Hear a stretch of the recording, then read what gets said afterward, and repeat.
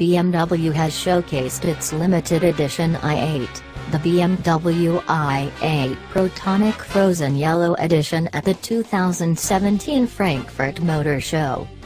The BMW i8 Protonic Frozen Yellow Edition gets an exclusive paint job, new wheels, and interior features to mark the car from the standard i8.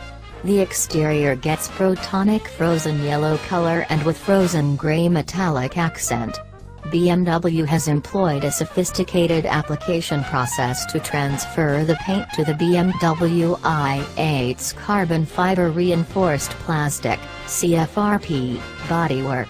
The silky matte shimmer of the finish shines a particularly vivid spotlight on the car's dynamic lines and flowing surface design.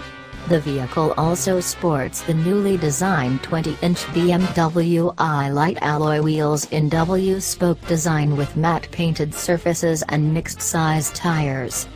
Swing the door, and your gaze is immediately drawn to the door sill finisher emblazoned with the respective, exclusive lettering. Other eye-catchers include the dark Neso seats with woven yellow and anthracite stitching and the headrest with the embossed BMW i8 logo. The seat belt in a grey color finish. The gearshift lever and central operating element get a ceramic design. The selector lever and iDrive controller get ceramic applications as well. A Harman Kardon sound system and velour floor mats with black leather piping and yellow highlight are standard in this model. The mechanical underpinning of the limited edition plug-in hybrid car remains the same. It uses a 1.5-liter petrol engine in tandem with an electric motor.